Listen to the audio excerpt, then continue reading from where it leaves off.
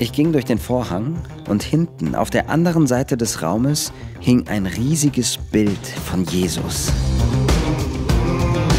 Sie hatten mir nicht erklärt, worum es ging. Und auch nicht, warum sie dafür ausgerechnet einen wie mich brauchten. Ich stellte mich hinter den Stuhl, Hände hinter den Rücken, Augen gerade heraus, als ständig wache.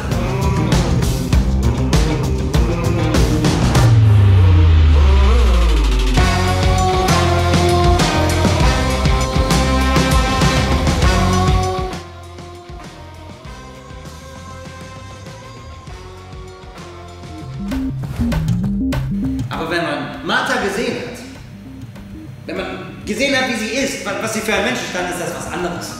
Man vertraut ihr. Und dem, was sie tut, irgendwie. Also, und warum? Also ich jedenfalls.